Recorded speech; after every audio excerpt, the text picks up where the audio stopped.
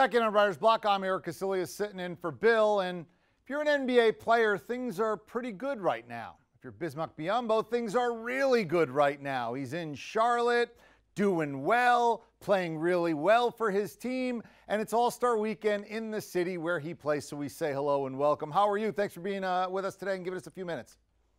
Thank you, thank you. I'm wonderful. As you said, the whole star is here. We're all excited. The team is doing great. I'm doing great. So can't complain. Thank you for having me. All right, so if you and I were the captains instead of Giannis and LeBron, and you had the first pick, who would you have taken?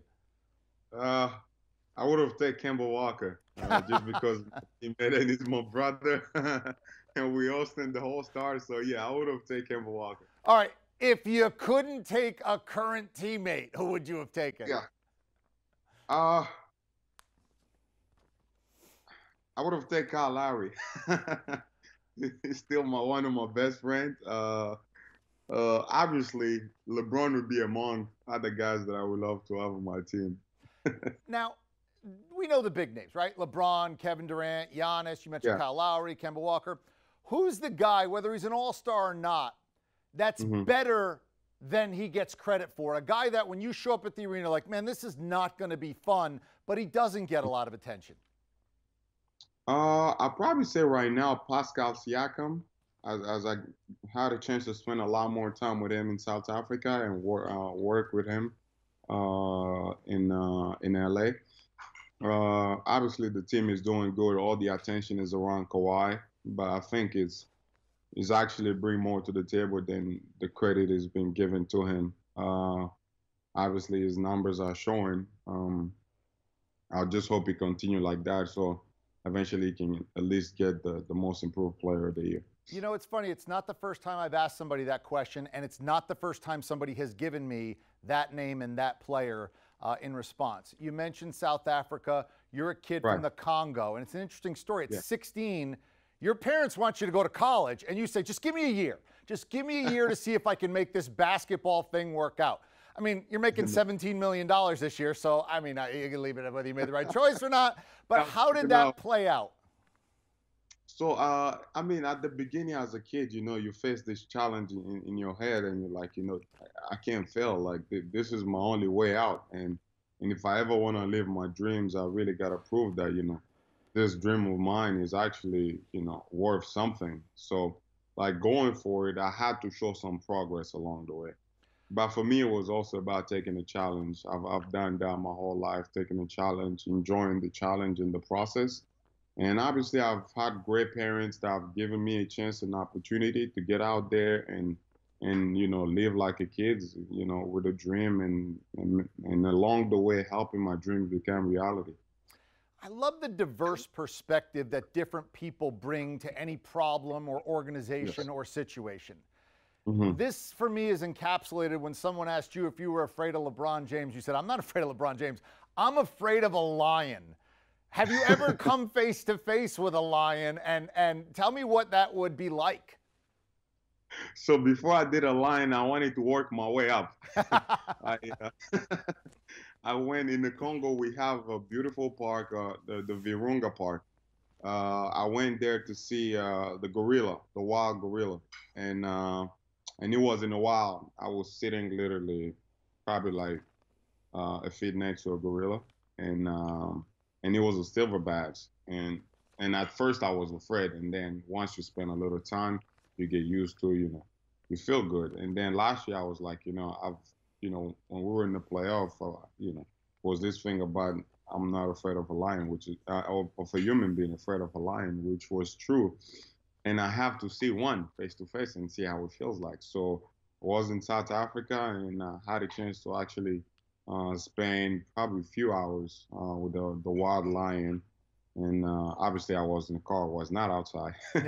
and, uh, and, you know, it's, it's just the way they look at you. The eyes are so firm, and uh, and and I think to me that's the scary part. And then I asked the guy, you know, if they would have taken a baby lion and put him and put him in uh, in um, in a zoo, would he still have the ability to kill somebody? He said, yeah, they're born killer. They're born killer. You can put them in a wild, they will know where to attack a human being. I was like, wow. respect. That makes sense. There you go. So that's why you're afraid of it. And it's, we're always talking about, you know, like intimidation and presence with LeBron James, yeah. and you say the line. The guy mm-hmm. who owns the team that you're on had a little bit of a presence and some intimidation. Michael Jordan, who will have his 56th birthday this weekend, an All Star weekend. Uh, you know, you essentially work for him. He's the owner of the team. Yeah. When you've met him and talked to him, what's that been like? Uh, and how did you feel with in the presence of talking to MJ? Oh man, he has been great. You know, uh, we're gonna celebrate tomorrow for sure. No, tonight is the party. We're all gonna be there. but uh, he has been great. Uh, I think to me, he has been more than a mentor. Because uh, um, when I came in as a rookie, I was trying to find out and figure out, you know, how this NBA life was going to be for me. Because I go from obviously now making money to making money, but also have responsibility. And uh, and to him was about the work ethic, which was which I think was very important, and uh, and the lesson about an, an NBA game. So along the way, like I had to rely on him a lot, especially early in my, my first few few years in the league. And then obviously as you grow, the lesson you have learned early kind of start helping you and then you know you get detached a little bit, you're trying to fly on your own. So he's giving you advice and you're going to his birthday party tonight. What the heck do you get Michael Jordan as a birthday present? Uh, nothing. Just a, just a hug. Good. That's probably all he needs. That's exactly just right. Just a hug and wish him all the best. I, I, don't think there's anything I can get him uh, that will uh, replace all these things you already had and all these things he can afford.